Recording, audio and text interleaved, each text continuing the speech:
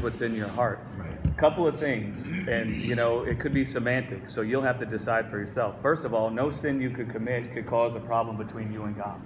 The idea that you've transgressed God would not be consistent with the gospel. So the idea that I'm going to confess because God is now disappointed or upset with me, and this is going to mend that fence, like I've transgressed Jay if I, you know, do something horrible to his wife, and now I'm going to go try to mend the fence because he's hurt on the inside. God doesn't get offended.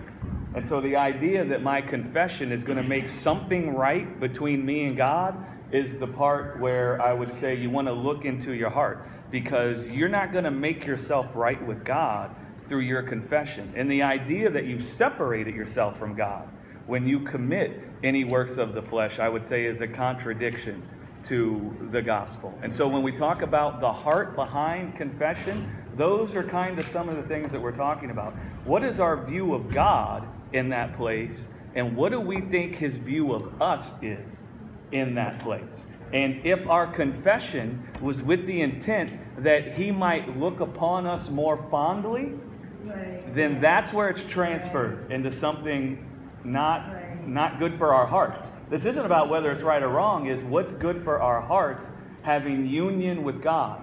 The Bible talks about coming into the throne room with boldness, right? And it says knowing that God will reward those who come to him. So if your mind is filled with I'm engaging with God to try to get back into his good graces, that's when it's it's detrimental to our hearts. That's when the enemy could come and shame us tell us we're a disappointment or whatever, and then we're not talking with God anymore. We're trying to confess to get back into His good graces or to get back into connection. Right. Now, I go, this goes hand in hand with what we talked about on Wednesday night with Romans 8. There is therefore now no condemnation. If in your heart you think that God is going to condemn you for some behavior, then then confession becomes that way of trying to fix that. But there that verse is talking about there is no condemnation from God for you. And that to me was a light bulb experience on Wednesday night when it was like, oh, wow, just a perspective change in that.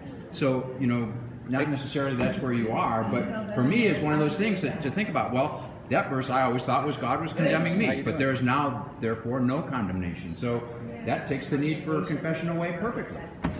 Well, I, I was going to say, too, that we are so conditioned to define sin yes. as something that we do. Right.